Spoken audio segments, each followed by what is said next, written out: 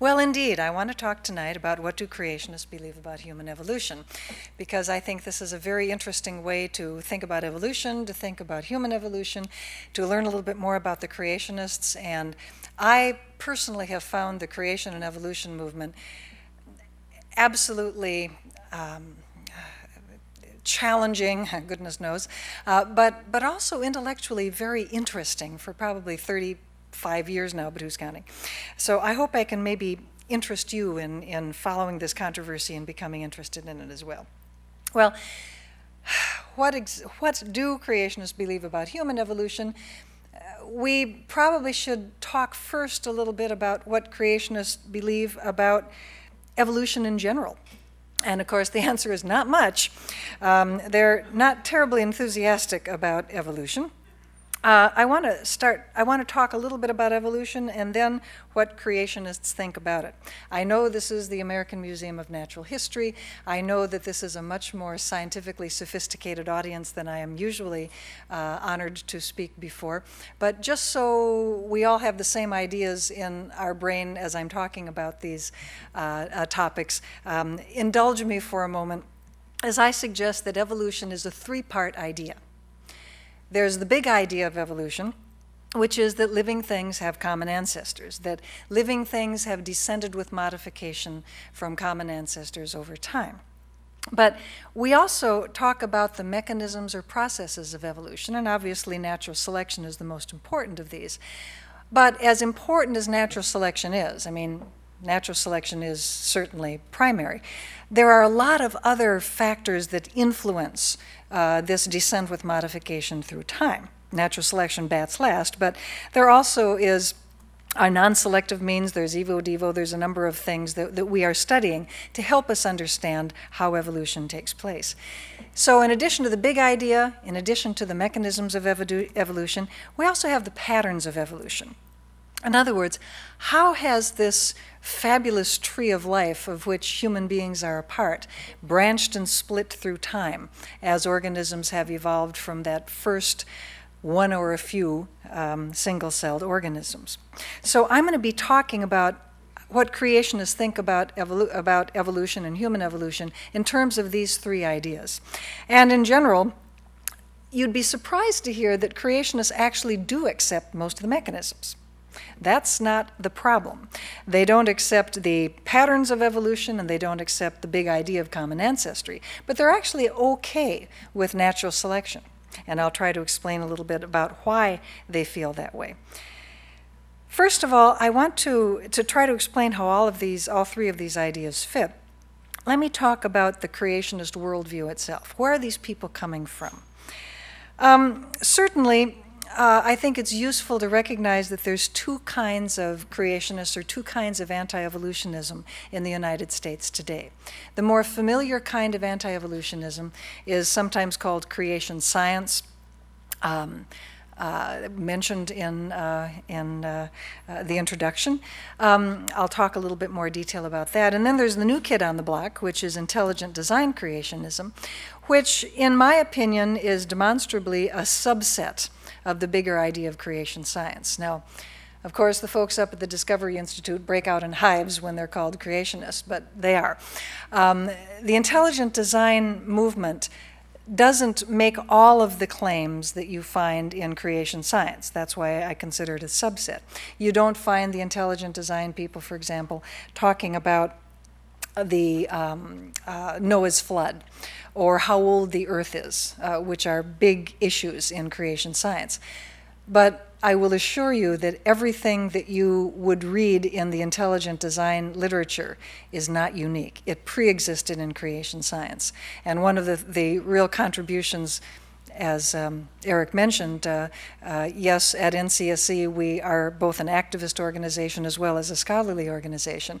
One of the things that we contributed to scholarship as a part of the Kitzmiller versus Dover trial is really digging deep into the NCSE archives and finding out a lot about the history of intelligent design that historically ties it to creation science, but also in terms of content, it is tied very closely. Now, most of my comments tonight about what creationists think about evolution and human evolution are going to be more reflective of creation science, but really, in terms of the things I'm talking about, the intelligent design people are right next to them in, in almost all cases. So, where are the creationists coming from? Well, basically, the creationists, whether of the intelligent design or the uh, creation science variety, embrace a theological view known as special creationism. And there we go. No, we don't. We are not going. Hang on. Um, when all else fails, hit the escape key, right? There we go. Okay.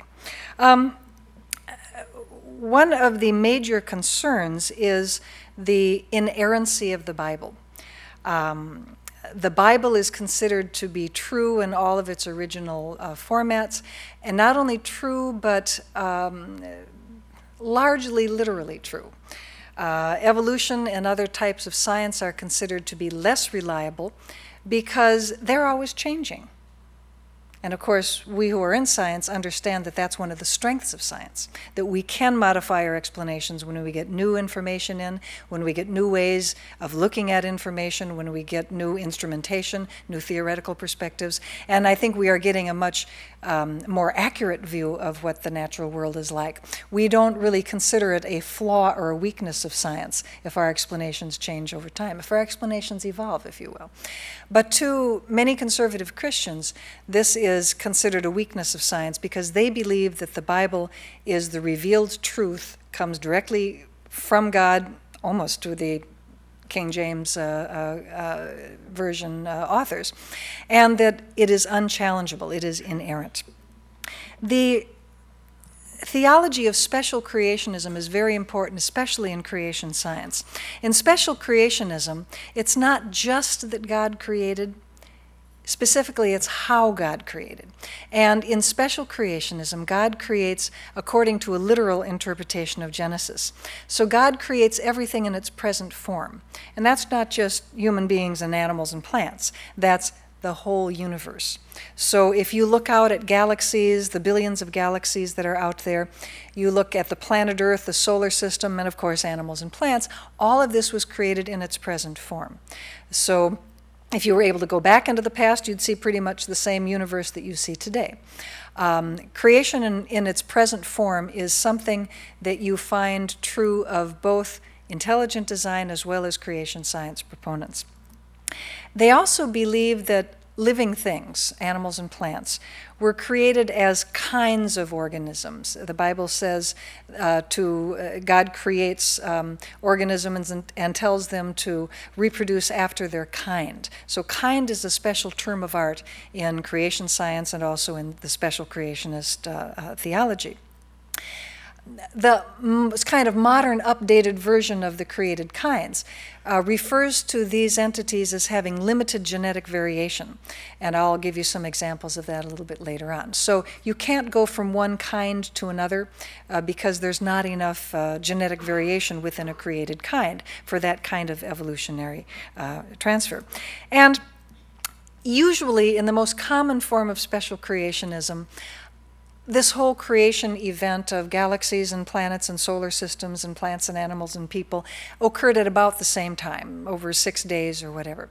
Now, here's one difference where the intelligent design people vary a little bit from the creation science supporters, because the intelligent design proponents are generally followers of another kind of theological view called progressive creationism, in which God creates sequentially through time rather than all at once.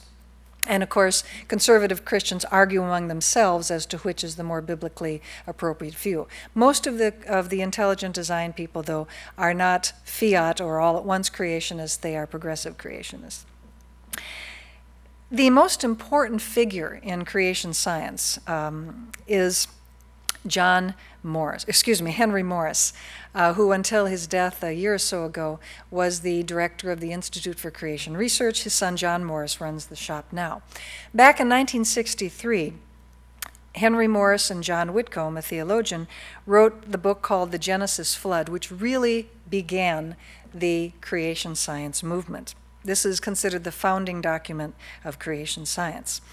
Now, in this book, the idea is presented that, first of all, the Earth is young. It's only about 10,000 years old. and that Noah's flood was a real historical event. The whole planet was covered with water to 100 feet above the tallest mountain, just like it says in the Bible, and that all of the plants and animals and people today that we see are descendants of people and creatures that were put on a large boat that survived the literal Noah's flood. And that, of course, is, is fairly standard um, uh, fundamentalist uh, uh, biblical literalism. The distinction in this book was that they made the further claim that all of these really religious views could be supported through the data and theory of science. So this was really the first foray into what began became known as scientific creationism. And I want to be sure to make that distinction because, of course, there are many, many, many forms of creationism out there if creationism just means God created. Um, Catholics believe God created. Episcopalians believe God created, but they also believe evolution happened. There's, excuse me, a number of Christian views about how God created. Special creationism is this particular biblically uh, literalist oriented view, which will be our, our major concern tonight. Um, now, of course, the idea that there is scientific evidence that supports a 10,000 year old Earth, much less a flood that covered the whole planet, simply does not exist. Uh, there, there are no data to support these. So, what you tend to find if you read the creationist literature is rather than positive um, arguments to support the sudden uh, emergence of plants and animals all at one time, for example, or young Earth, what you tend to find are attacks upon evolution. In creation science, they have what they call the two model approach, which is that there are only two alternatives there's either evolution or there's special creationism. So clearly, from a logical standpoint, all you have to do is disprove evolution, and special creationism wins by default. So they don't have to provide a positive model. All they have to do is prove evolution is wrong. And what the creation science literature does or, or expresses is people who have gone through the real scientific literature and pulled out little anomalies. And this kind of anomaly mongering is, is very classic in creation science. They, they'll find a little anomaly that, you know, looks a little bit funny if the Earth is more than, uh, if the Earth is really millions or billions of years old, and they hold that forth and say, see, that proves evolution never happened. Therefore, we win.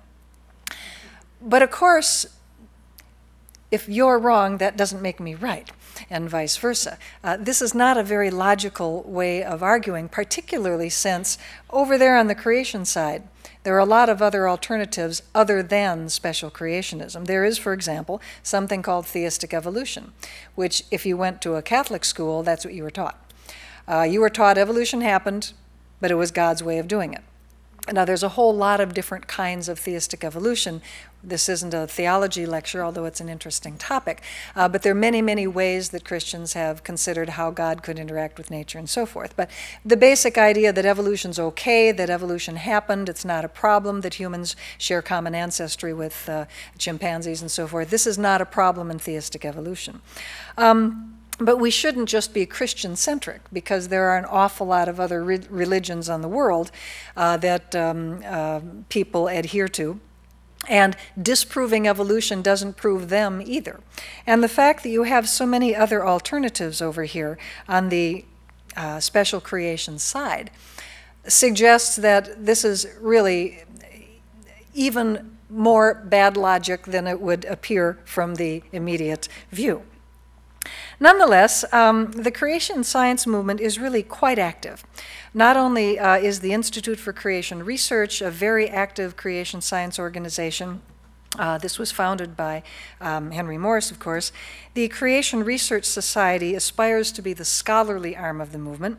Answers in Genesis, outside of Cincinnati, was founded by a cadre of Australian and New Zealander fans of the ICR and Ken Ham, who is the Australian who runs the uh, Answers in Genesis, is planning on the 28th of this month to open a 60,000 square foot, multi million dollar museum of creation science, where the Earth will be presented as uh, being no more than 10,000 years old. Humans and dinosaurs lived together before the flood. and all of the other views that we associate with, Christian, with creation science. Uh, creation science evangelism is a third major creationist movement, but uh, this one is uh, not going to be very active for a while. The uh, leader of this group out of Pensacola, Florida, uh, Kent Hovind, um, doesn't um, believe that he needs to uh, file uh, withholding and FICA for his employees, and he was recently made a guest of the government and fined $700,000. And uh, so this is, uh, we probably won't be hearing a whole lot from Dr. Dino, as he is called. Now, the creationist view of reality, uh, of the relationship of living things, which we call systematics in evolutionary biology, um, differs considerably from that of evolution.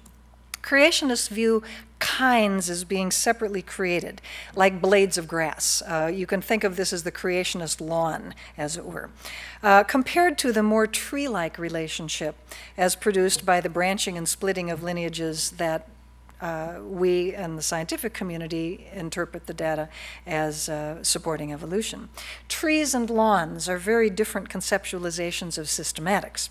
Creationists reject the pattern of evolution as we recognize it in favor of the special creation of separate kinds. Paralleling the importance of special creationism to young Earth creationists is the story of the flood of Noah. Of course, the Genesis flood, the founding document of creation science, made a, a, a focused upon um, uh, the um, the flood as as being scientifically demonstrable, but also being the result of catastrophic forces um, rather than gradual forces. And, and a lot of this is tied in with the young age of the Earth. And of course, this is a very smart move because without millions of years for evolution to take place, you don't get evolution. Evolution is completely dependent upon an ancient age of the earth, which is why the creation science people attack the age of the earth so strongly. And the Noah's Ark story is essential to this picture. Um, creationists believe that the uh, Grand Canyon, for example, was laid down by the early and excuse me by the pre-flood and the early flood and the rest of the colorado plateau was laid down thereafter. By the way um, national center for science education does have a raft trip through grand canyon uh, as does the institute for creation research of course. Uh, but i should tell you in advance that if you do go down with the Institute for Creation Research on a raft trip through the Grand Canyon, you will only get the creationist point of view. If you come with the National Center for Science Education, we have with us a, a skilled geologist who will present to you the evolution side of things, and I will present to you the creationist side of things, and you can make up your own mind. So we truly give a creation and evolution tour of Grand Canyon. Actually, the um, uh, geologist uh, who um, uh, goes with us on these trips is a paleontologist from Yale named Alan Gishlick, got his PhD from Yale. And uh, all his life he's been called Gish. So we couldn't help but advertise this as See the Canyon with Scott and Gish. And if you've know anything about Duane Gish, the very famous creationist debater, you can see why that would raise quite a few eyebrows if someone were to come across that. Uh, we just had, a, by the way, we just had a, a cancellation this week for our trip for July 17th to the 24th. So if two people are interested, see me after the program. Uh, we have we have two seats to fill on our boat. But uh, the the the Ark story is very important. Now the Ark is a very big boat. Okay, the ark is a really, really, really large craft. But if Noah has to take male and female of all the kinds, what is a kind? A kind couldn't be a species because you'd fill up the ark with beetles and bats. I mean, you the a kind can't be a species because there's not enough room for all the living things to be on the ark. And remember, God created everything all at one time, including dinosaurs and mammoths and all of the extinct animals uh, that we don't have around anymore. And all of those had to go on the ark too. So what is a kind and how many kinds of dinosaurs were there? How many kinds of elephants were there? Because you have to take enough food on the ark to feed all of these animals for a whole year. It, the 40 days and 40 nights, that's just the rain. After the 40 days and 40 nights of rain, if you read your Bible, um, the ark bobbed around for almost a full year before it landed. So you know, this is the biggest zoo in the in the world, and Noah and his family have to take care of them. So, how many animals were on the ark? I showed you a slide earlier of a book called Noah's Ark, a feasibility study. They really are, are very concerned with this issue of kind. Now, now we're getting to the fun stuff. Determining what a kind is has been a real concern of creation science really since um, the 60s when Henry Morris started things, but even before that, even, even back into the, um, into the 1940s. And since about the 1990 or so, there's been a new um, approach to determining kinds in uh, creation science called baraminology. Now, baraminology comes from the Hebrew bara, to create, and min, meaning kind. So Baramin is the created kind, and baraminology is the study to try to determine what a created kind is. This is also called discontinuity systematics, because, and it's, it's, it's fascinating to think about this, because when you think of what systematics is in evolutionary biology, especially phylogenetic systematics, right, what you're trying to do is show the connections between all the forms of life. Baraminology or discontinuity systematics is trying to show the, the separations. It's trying to show uh, how you can produce a lawn from living things rather than a tree. So the whole orientation is very, very different. They have started using a number of terms that are very similar to those used in phylogenetic uh, systematics. And um, they don't exactly track such things as monophyly, paraphyly, polyphyly, and all that but it's it's kind of close. Uh, but again, in this non-evolutionary um, uh, uh, sequence. If you want to know more about this, in a recent issue of NCSE reports. Um, Alan Gishlick um, uh, has written a whole paper on baraminology, and I think some of you might find this quite interesting. And if you don't subscribe to the reports of NCSE, let me know and I'll send you a copy. Um, Wood, Wise, Saunders, and Doran wrote a monograph on a refined baramin concept that is very illuminating, I think, to figuring how these people think and how they look at science and the whole role of their religious expectations and their view of science. I mean, these people are very sincere. They really do believe they are doing science. They're doing a little different science than what evolutionary biologists are doing. They recognize that, but they really believe that they are doing rigorous science. And they do have. Um, they do have programs, um, uh, algorithms that they've written, and computer programs to do basically phenetic analyses of characteristics to try to determine the discontinuity systematics as opposed to the phylogenetic systematics. The idea is to come up with a definition of kind so that few enough kinds exist that you can get them all on the ark. But it is clear that preserving the literal truth of the Bible trumps everything else. In this passage from the book, they talk about the goals of uh, baraminology is to develop a new view of biology that is consistent with the biblical record. So there you have it, uh, where your observations of the natural world conflict with the revealed truth of the Bible, the Bible wins. Um, some of you may have heard of Richard von Sternberg, who is a uh, biologist at the um, at NIH actually, and he is a, um, a researcher. He has a, a, visit. Uh, I forget exactly what they call them, but he's a you know he has permission to use. Um, um, collections at the Smithsonian in Washington. He was involved in a kerfluffle a few years ago about uh, his editorship of a journal that came out of the Smithsonian called the uh, Proceedings of the Biological Society of Washington. He accepted a, a paper by Stephen Meyer, who's the director of the Intelligent Design Group, the Center for um, Science and Culture up in the Discovery Institute in Seattle. And uh, upon the publication of Steve Meyer's paper, all hell broke loose because the idea of publishing a, paper on intelligent design in a referee journal uh, really was quite astonishing because this is not considered to be appropriate science. Richard von Sternberg is a baraminologist. He goes to baraminology conferences. He's very interested in discontinuity systematics. Uh, he writes papers and publishes in their journal. This doesn't mean he's a young earth creationism. He denies that he's a young earther, but he certainly does hang out with an interesting crowd. In that same book that I showed you by Wood et al. is this passage, which I want to call your attention to because it helps you understand what a baramin is. Within the divinely established boundaries, variation can occur, but change beyond the boundaries might obscure the revelation. The biblical and theological evidence even provides a framework in which to search for these baramins. They should generally be equal or lower in rank than an order, but higher than a species.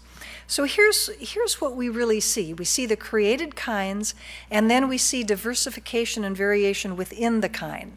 So is it a lawn or an orchard? It's hard, it's hard to tell, but it's not a tree in the sense of evolutionary biology looks at the relationships between organisms as tree. None of these come back together again at any place. These are all special creations, and then you have variations within the kind.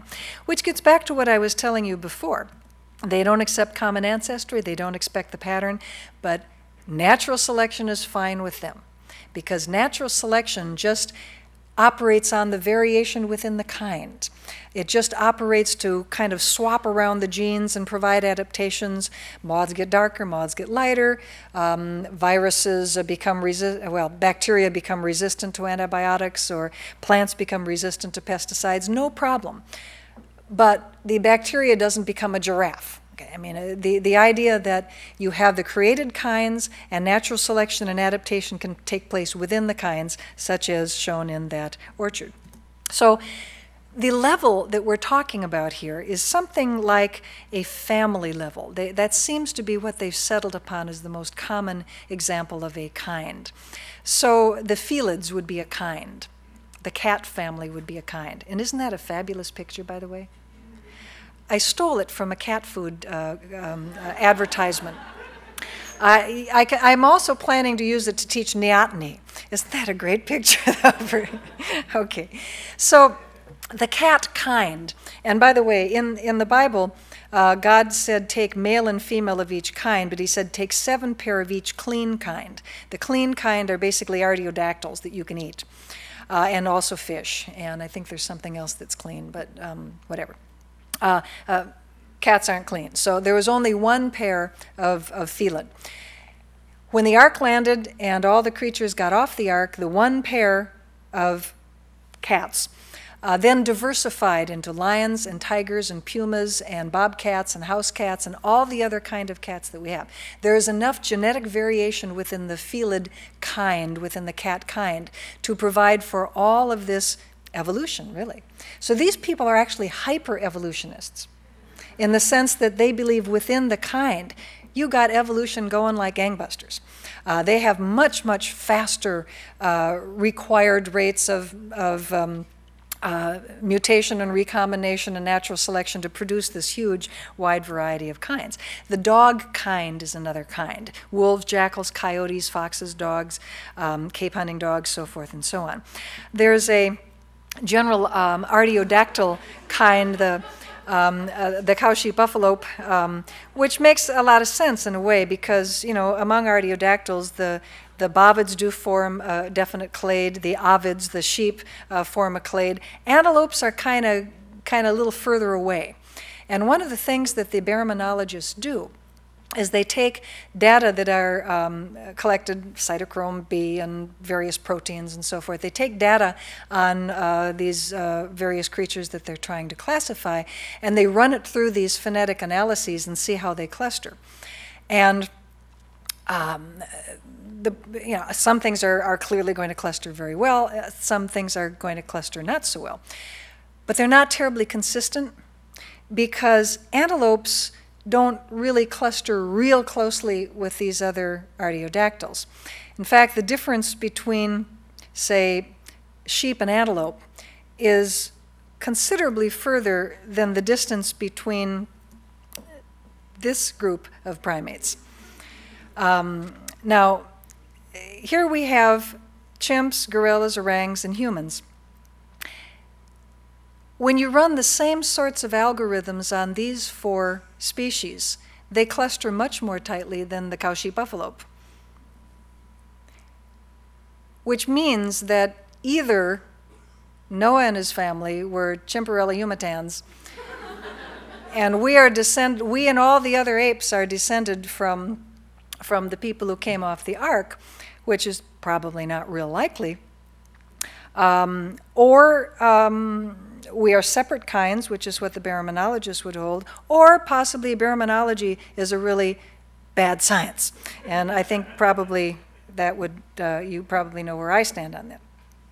And in fact, uh, you can find if you uh, Google, we find all of our information through Google. If you Google baraminology, humans, or something, you, you find papers where they've published these data. Of course, they're published in their own in-house journals. Um, but they publish these data, and uh, you know, it, it doesn't work. Humans cluster with the apes, and you cannot separate them out in the way that they do. But again, because the presupposition is that humans are a separately created kind from all the apes, humans have to be separate, which of course throws sand in the gears of trying to determine any sort of consistent um, uh, percent difference or, or similarity difference matrix between these various organisms because humans and apes are really close. And if they have to be separate, then a whole lot of other stuff has to be separate too. So the baraminologists um, are not really doing actual research in the sense that, that it would be identifiable by, by anybody who is in the scientific community. They are manipulating the conclusions to accord with their own assumptions, which is hardly something that is scientifically defendable. But if they don't do very well with um, extant organisms, they do even more poorly when it comes to fossils. Finding discontinuities in the tree of life when you toss fossil evidence in with living, uh, uh, with, with uh, genetic and other data from living forms really makes it impossible to make the kinds of separations that they want to make. Um, this is um, a chimpanzee. This is a modern human. Now, the purpose of this illustration is not to imply that we are descended from chimpanzees. That's not the point. Nor is it even to imply that the common ancestor of humans and chimps looked like a chimp, because we're pretty sure that it didn't. Chimps have evolved from that common ancestor just as we have evolved.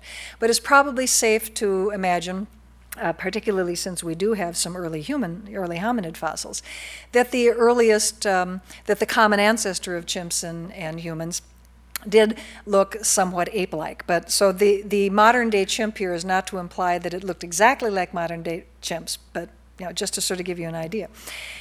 Now, these fossils, uh, B through K, are all arranged in order of approximate time, um, near, near, as we can tell for dating. And it's a, it's a front shot and a side shot for each of these, as you can probably uh, recognize here. Here's the problem. Where do you draw the line? If, as the creationists believe, there's either apes or humans, there's no such thing as a transitional fossil, where would you draw the line? Could you draw a line and say, okay, on this side it's all apes, on this side it's all true humans? I think all of us would have a tough time. And of course, this is only a sample of the human fossil record. This is just some particularly nicely photographed uh, pictures that we were able to put together. Oh, and by the way, the implication here is not that these are actual ancestors of humans. You know, this is not great great great great grandpa. This is great great great great umpty ump, 172nd cousin. Uh, but these various cousins can tell us a lot about the hominids that lived at the same time that did that were part of the human lineage. So this is why these fossils are very important. I would find it impossible, I think you would find it impossible, to draw a line and say everything on this side of the line is an ape, everything on the other side of the line is a human. And you know something? The creationists can't do it either. Here is an, a table of a series of uh, the, the uh, columns here are one, two, three, four, six creationist publications and how they classified each of these fossil humans. So good old 1813 was classified as just an ape by everybody. They were very consistent about that. Well, most people think 1813 is a habilis kind of creature. It's sort of an advanced Australopithecine, maybe an early Erectus grade kind of varmint, one of these African um, um, erectus kind of creatures. Uh, the Java man, they also uh, didn't quite know what to do with that. This is classified by most of us as Homo erectus. Um, some of them thought it was an ape, some of them thought it was a human it gets worse with the, um, the Peking fossil, another Homo erectus. Again, some of the creationists thought it was all ape, some of them thought it was all human. And when you get into something like 1470, which is considered, again, one of these very transitional kinds of fossils, they're split right down the line. Uh, they can't, when they're really confronted with an actual transitional fossil, with a fossil that exhibits transitional characteristics, they cannot distinguish between ape and human, which is exactly what we would assume as evolutionary biologists. Similarly, with uh, 3733, which is again one of these um, more advanced forms of, of, um, of hominid, uh, erectus type, African erectus type, and the wonderful um, uh, boy from Ethiopia. One of them doesn't want to see any humans at all, and you know that, that first column is, is all apes. But the point here is that creationists don't deal well with the fossil record. Uh, they don't deal well with living things because they have this presupposition that there are created kinds and there are no transitional fossils, there are no intermediates. And yet, living things, eh, because there can be no intermediates because there's no evolution, there is only special creation. And yet, when you look at living things. When you, when you just look around the world at the creatures that we share the planet with today, we see a lot in biology that makes sense only if living things had common ancestors. Why is it that all the land vertebrates, sorry, I left out the salamanders, you herps people will have to forgive me here. Why is it that land vertebrates all have four legs? Snakes do too, they just lost them. Uh, birds have four legs, the, the wings are legs, y'all, you know, y'all know that. Why is it that all land vertebrates have four legs? Well, creationists would say that God designed them that way because four legs is what's best for getting around on land. It was a functional design. And yet, that doesn't really make a whole lot of sense because there's a lot of ways of getting around on land. But the creationists really look at and this is where we get to the intelligent design argument as well. The creationists and the intelligent design people really do look at organisms as they would look at machines. And whereas if you had a bunch of nuts and bolts in your uh, workshop, you could put these together to make one kind of machine or another kind of machine. You have these, these parts that you can interact. Well, that's the way they look at something like the vertebrate arm, or that's the way they would look at some of these other parts that could be mixed and matched to make an organism. They, they really do look at living organisms as if they were machines, as if they were purposeful arrangements of parts that were put together by an omniscient deity as we see them today. And this is true of the, of the intelligent design people as well as the creation science people. And yet, like I was saying, there's nothing special about having four limbs if you're a land animal. Insects are land animals. They get along just fine on six legs. Spiders have eight legs, millipedes have a whole bunch. Um, there's nothing magical about four limbs to uh, um, make a land um, um animal. As a matter of fact, if God really had a sense of humor, he probably would have made land vertebrates with six legs, because wouldn't basketball be a whole lot more fun if, you know, if we had two sets of, of forearms instead of, instead of only one? Um, but the reason why all land vertebrates have four limbs is because we evolved from an aquatic vertebrate that had to move around in two dimensions. Uh, they had to move up and down and back and forth in three dimensions, I guess, come to think of it. Um, aquatic vertebrates have a three-dimensional world that they have to navigate. And the minimal number of limbs that you need to navigate in a three-dimensional world is two in front and two in back. And we are descended from a creature that had that kind of structure for a very different environment than living on land. A very famous geneticist named Theodosius Dobzhansky wrote a book, uh, wrote an article for a science teacher journal called, uh, which he titled Nothing in Biology Makes Sense Except in the Light of Evolution. And what he was talking about is why are things like the way they are instead of some other way? The reason why land vertebrates have four limbs is because they are descended from aquatic vertebrates that had four limbs, not because there's some wonderful design about having four legs if you're a vertebrate. But perhaps the best rebuttal to the design argument is the existence of something called pseudogenes. And let me explain what a pseudogene is, because it's kind of an interesting thing. We're getting away from live bodies and, and fossils here. We're now getting into uh, to biochemistry.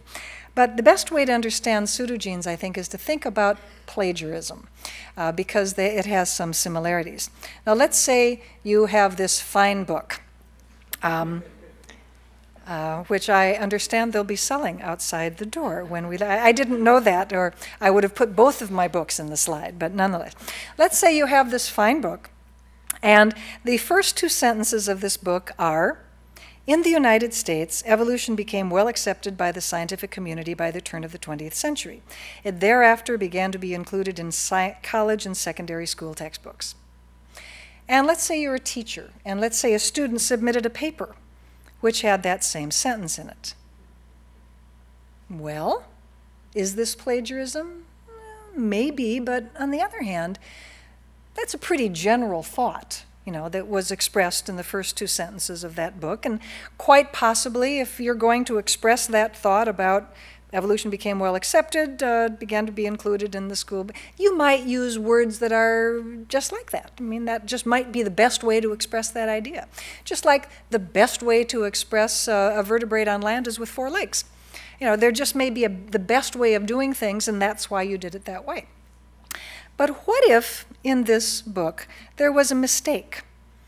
And let's say that there was a typo in that, for which there is not, but let's say there's a typo in that first sentence that says, in the United States, evolution became well accepted by the scientific community. And let's say that your student handed in a paper that had that same mistake. How many of you would flunk the student? yeah, this is plagiarism, right? This is plagiarism. It's plagiarism because that is a non functional change. Okay? This is what pseudogenes are all about. Pseudogenes are screwed up genes.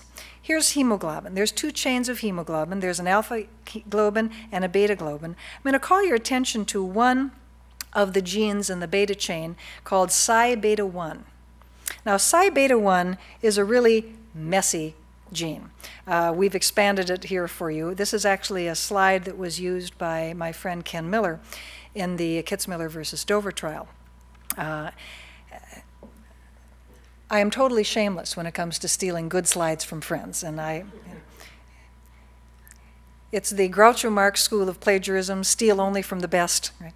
Um, but here's what psi beta 1 looks like. Psi beta 1 starts out with a altered initiator. It's got a bad start. It's got um, gosh, I can hardly see this. It's got a frame shift, deletion. It's got stop codons where it shouldn't be. This gene isn't going to do diddly. It's just going to sit there in the beta chain and not do a thing. It is very, very screwed up, and it's not going to change. It, it's not going to function. It's not going to do anything. It is a pseudogene. It looks like a gene, but it's got so many mistakes in it that it doesn't work. So it's just sort of this inert gene.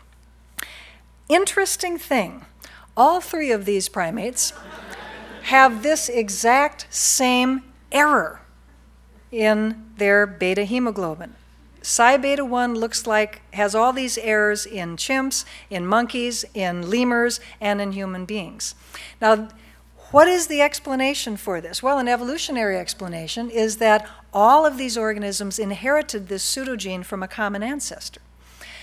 The creationist explanation for this would have to be God separately created a dysfunctional gene in humans, in monkeys, in apes, and in lemurs. Maybe he did, uh, but it's not the most parsimonious explanation.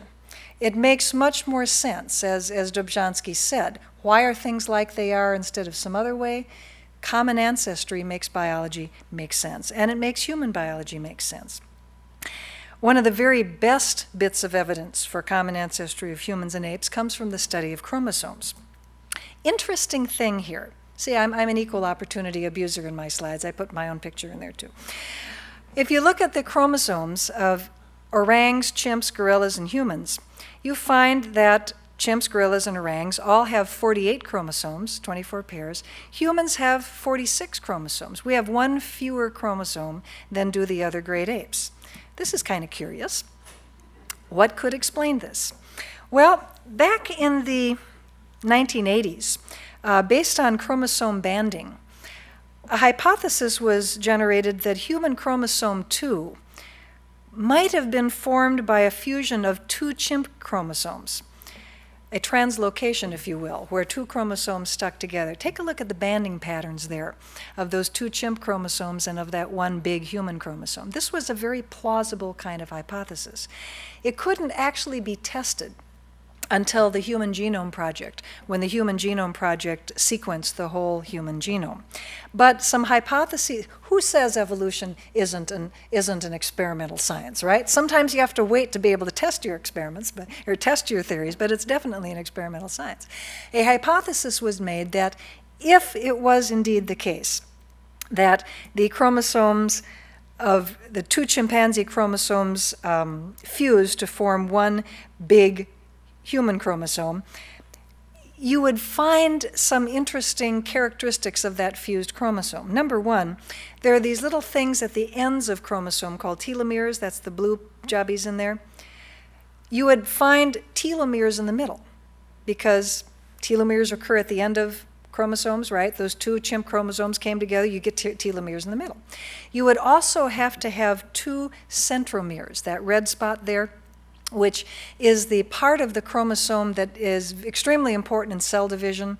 Um, that's where the chromosomes line up and they pair up and they split and all this kind of stuff. So um, you can't actually have two centromeres in a chromosome. So the prediction was that if the chimp chromosomes fused to form one big human chromosome, you would find telomeres in the wrong place, so to speak. You'd find telomeres in, in the middle someplace, as well as at the ends, and you'd find a deactivated centromere. And sure shoot, and this is exactly what they found when they sequenced the human genome. During the formation of human chromosome 2, one of the two centromeres became inactivated, which corresponds to the centromere from chimp chromosome 13, etc.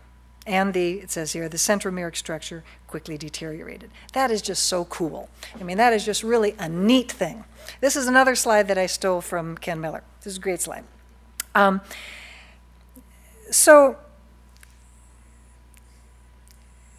between pseudogenes and the chromosomal material, there is lots and lots and lots of information suggesting that humans and apes shared a common ancestor what did the I'm sorry, that's out of that slide is out of place. Sorry.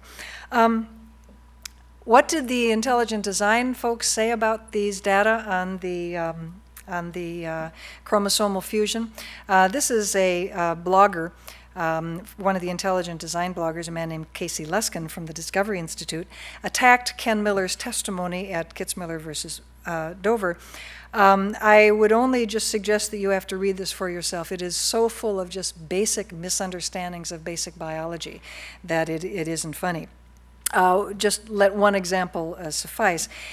He claimed that if there was a translocation of that sort, that the animal, the, the organism would not be able to reproduce, that any gametes that would be produced having a translocation like this would, would not be able to be, uh, to, to fertilize uh, an egg or be fertilized if it happened in a female, and that this would just be the end of the line. Well, that's absolute nonsense because we have plenty of examples. We, we observe things like that happening, happening in extant creatures. Um, you've got all the chromosomal material is just in a funny place. So the chromosomes can line up, they just line up in a kind of cockeyed way, that's all. And we do see um, cases uh, in extant organisms where we can see those kinds of translocations uh, having occurred. And eventually, two individuals with a translocated chromosome would mate, and you know, just through recombination would, would reconstitute that new double uh, uh chromosome, one fewer pairs than the ape groups. Um, another mistake that Luskin makes in this article is to claim that uh, organisms with, or species with two different uh, uh, numbers of chromosomes couldn't possibly mate. And uh, that's just empirically wrong, too. We have horses with 64 chromosomes, uh, Przewalski's horse with 66 chromosomes. They can mate, they can produce viable fertile offspring, they can produce hybrids, there's no problem. Uh, different numbers of chromosomes is not as important as what is the actual genetic material. And the actual genetic material of these two equids matches up just fine, even though the packages are divided up slightly differently. So creationists excel in misunderstanding science, misunderstanding its conclusions, and generally getting the story wrong. And they are particularly sensitive when it comes to human evolution because, of course, it is human evolution that is the most sensitive. And uh, they work extremely hard to try to keep the humans as a separately created kind that is completely unrelated to other forms. And yet, what a shame, because this whole story of the history of life is, su is such a fascinating one. And, and it's, it's too bad that they can't really understand this. Um, here we are. We are primates. Human beings are one of many, many different kinds of mammals. Here we are, one of, of many, many different kinds of mammals. We are also amniotes. We are creatures like um, birds and like uh, reptiles that have an amniotic egg that allowed our ancestors to invade the land and not be tied to the water for reproduction. We also are tetrapods. We are four legged land vertebrates, uh, like these other groups, like um, amphibians, like um, um reptiles, uh, uh, birds, and mammals. We had a common ancestor with all of these other groups that was a tetrapod. This whole idea of common ancestry is such a fascinating way of looking at our relationship to the whole rest of, dare I say, creation, of our relationship to the whole rest of this fabulous tree of life that has branched and split through time. Way up here, we find another kind of evolutionary development, shall we say, a, a very basic one that, that you would not think would be especially important. But humans belong to a lineage called deuterostomes, where very early in embryological development of each one of us, and of starfish, and of of um, bony fish and of amphibians and reptiles and birds and mammals, all of the animals downstream from this point here, all of these deuterostomes. In all of us during our embryo embryological development, we have a ball of cells which forms this little invagination called a blastopore. In our lineage, that blastopore becomes the anus. In the arthropods and their relatives, it becomes the mouth. So, what's with that? How come this makes this huge, huge difference? Well, it does. Every creature that's sort of on our side of this divide has this very small but very basic relationship. Why are things the way they are instead of some other way? Because we shared a common ancestor that had this characteristic way back in time with all of these other forms. We shared this common ancestor with these other forms. Even more further back in time, in, from the deuterostome um, um, protostome split, we find the evolution, as it were, of bilateral symmetry. So all of the creatures from this node on, including a lot of invertebrates, have the right side the same as the left side, bilaterally, bilaterally symmetrical. We sort of take that for granted, but it's a huge evolutionary development. It allows for a tremendous amount of flexibility for adaptations and, and radiations into a lot of different uh, life forms. We are bilaterally symmetrical, and all of the other creatures from this node on down are bilaterally symmetrical because we are descended from an ancestor that was bilaterally symmetrical. That's the way evolution works. We are multiple celled organisms, like plants and all of the rest of the animals. We are metazoa because we, are, we and plants are descended from an early metazoan form. And we have nucleated cells. We are eukaryotes.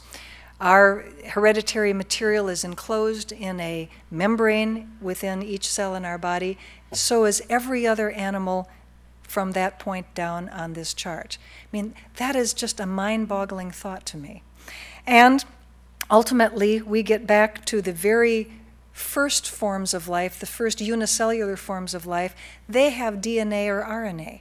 And every living thing on the planet has DNA or RNA.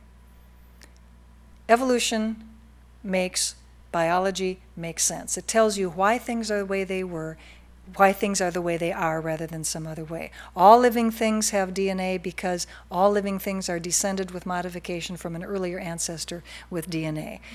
All human beings are primates because we are descended, excuse me, um, all of us primates are mammals because we and other mammals are descended from a common early mammal ancestor.